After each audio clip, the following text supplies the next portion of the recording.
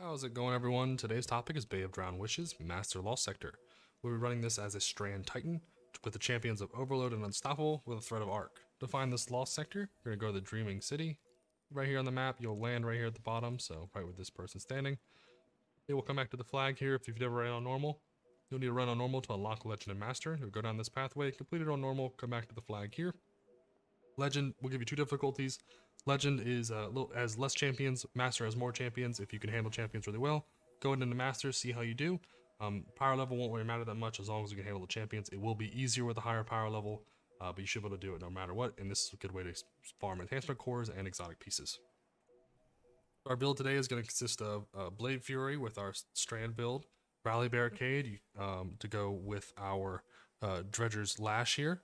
Uh, we will have uh, the movements, whatever you like. Frenzy Blade is, uh, you know, we can spam these out as much as we can. Give us, give us more of those tangles. Shackle Grenade will deal with our Unstoppables, along with uh, Drengr's Lash here will take care of Unstoppables for us also, for suspending.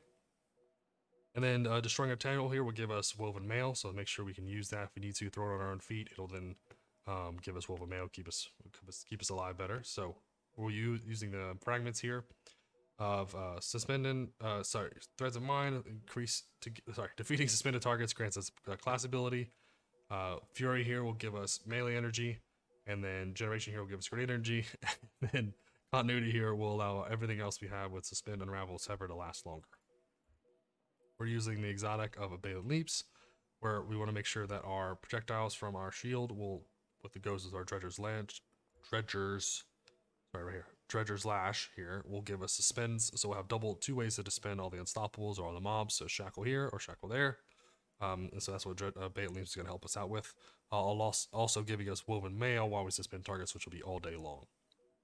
So our main damage source is going to be the shotgun here to do big damage to all the champions we're dealing with in close range.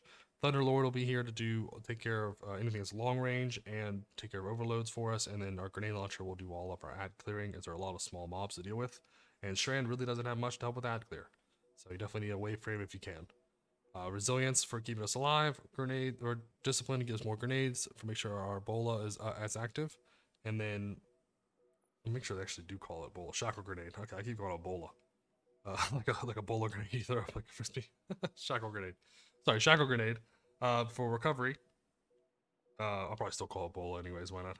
Uh, so recovery here, uh, you can put in recovery or intellect to give you more either super uptime or more health regen, as uh, Strand doesn't have that much for keeping you alive besides uh, your maybe healing recuperation here in the legs.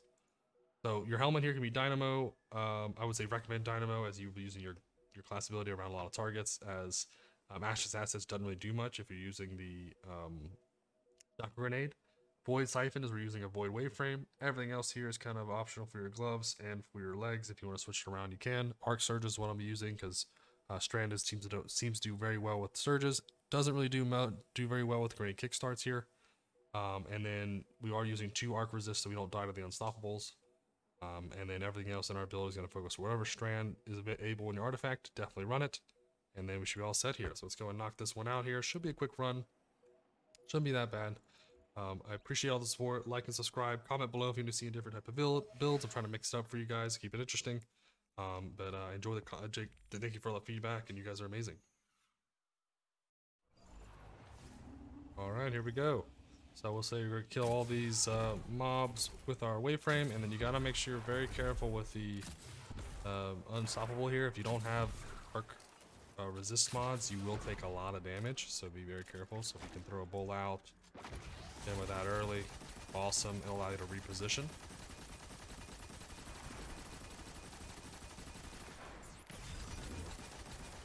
Perfect. Now we're over here in the right spot. We're going to reload. Look for any of those uh, that are running at us. Because we don't want to deal with them. Throw our bowl out again. Do as much damage as we can to the abomination. And then watch out for all the little screebs around here.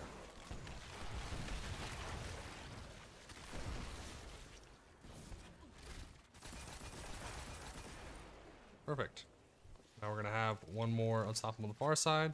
You can bait him to you if you're having trouble hitting him with your Ebola. Ebola. Oh, I missed. Come on, dude. Come on, Bola.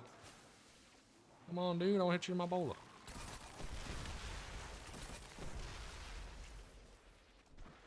Don't want to go on the right because it'll spawn everything else, but I do want to get this guy close enough Hello, There we are, perfect.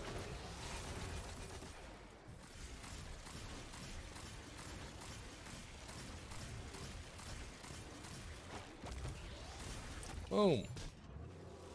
Perfect. Now we still have our heavy to take care of the overloads here. Just gonna sprint right through.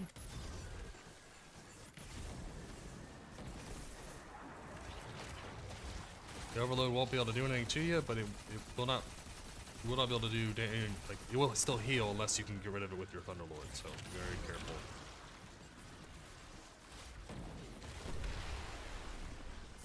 Oh, come on. Come on, get over here. We don't wanna There we are.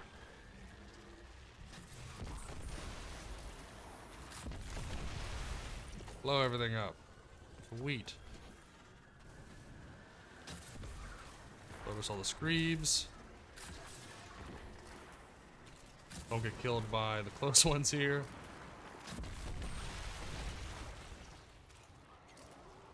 You can also jump over them if you need to. Uh, other than that, just focus all them with your wave frame and then pick up some free ammo. And hello, dude. Then blow him up real quick. Perfect. Now we're good. Then we can go to this last zone here. What I'm gonna do is grab some ammo. I know I saw some on the ground. If you need any of these stuff, you can. Like hit him with that. Ooh. Ah. Really for fun. You don't have to kill that guy, but just for fun, why not?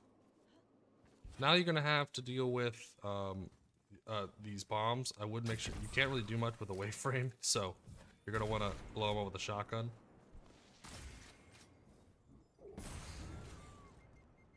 So just be very careful with them. What we're gonna do is throw a bull out, and then take him out with our Thunderlord. Make sure you move and shift as you need to to deal with him. Uh, we should be able to just uh, push all these guys out. Ah, what? We're going. I guess we're going over here.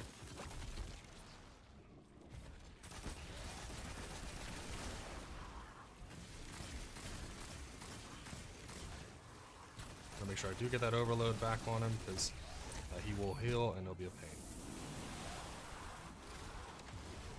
Make sure you focus a lot on survivability here. Right, you can do as much damage to this guy if you want to. You can use your super. I think I didn't use my super enough here, so I'm gonna go and use it now. Ah, spin to slash to win. Ah, there we are. So, four minutes, um, almost 20 second run. Like and subscribe if you want to see different builds. Um, comment below, let me know what uh, what you guys are thinking. And say if I'm doing good, bad, whatever. You want to see different kind of videos, let me know. Um, and as always, I hope you have a fantastic day.